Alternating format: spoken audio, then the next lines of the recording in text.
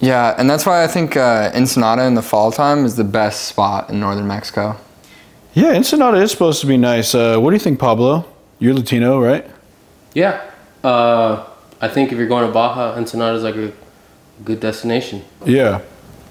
Yeah, you're Mexican, so I feel like you would have a better idea of what's like nice down there. Are you serious, dude? What? That wasn't cool. What wasn't cool? I agreed with you. Ensenada's nice, a little fisherman town. It's I'm sorry. You used Latino, dude. It's Latinx. I think it's actually pronounced Latinx. Honestly, nobody knows how to say it. Dude, stop. I've means. got stop. Stop. I've got this. I don't think he cares. You're a monster. Why? What did I do? Pablo, are you mad at me? No, no. You need to check your privilege, you little white boy. White boy. I'm so sorry for him. I I I, I can't I can't believe you, dude. What did I do wrong? Is there a rule I broke that no one told me about yet? Oh, oh, oh, I'm Spencer. These are my next questions. Uh, wh- where's your green card? Are you even a citizen? Why would I ask that? That's weird. That's offensive. You're a fucked up person. And you're the reason this country is the way it is. We're talking about relaxing places to go in the fall, not if someone is a legal citizen. I would never say that. I don't. I don't think he. Dude, hold your voice. Okay? I'm gonna use my white privilege to be on the front of this battlefield right now, okay? Why are you letting him talk? What do you mean you got this? I mean, Look, I, look, I, look. I, I, I, I, Hey, you don't need to code switch for us, okay? If you wanna speak Spanish, it's cool. Even if we don't understand it. You don't even speak Spanish, do you? I don't. I never learned it. Yeah, he's not code switching. He's just speaking how he normally speaks. I'm so sorry for him. Do you know how hard it was for Pablo's family to get here? What is this? Yeah, I mean, what was like a ten minute bus ride or? I will defend you. Oh, you want you want to take him to the Dodgers game and get tacos with him?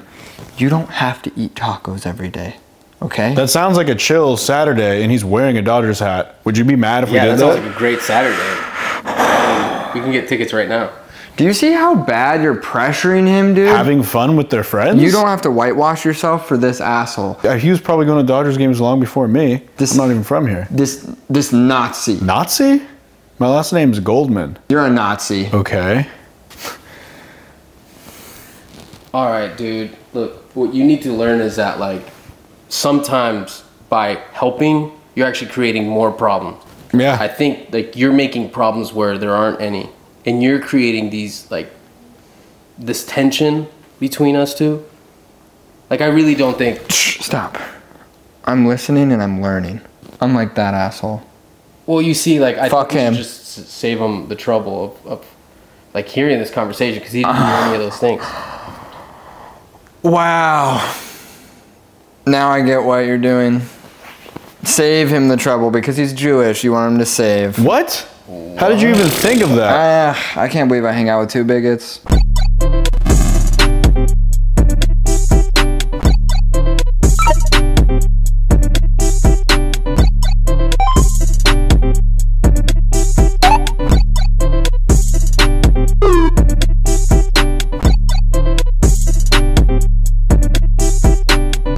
Yo, thanks. All right, yeah, well, I think we're going to go. Do you want to actually get tacos? Yeah, dude, that sounds great actually. It sounds fun, on it. That was a good idea you had. Have fun. Let's go. We actually will, because that's what friends do. So. Oh, cool. My Chinese food just got here.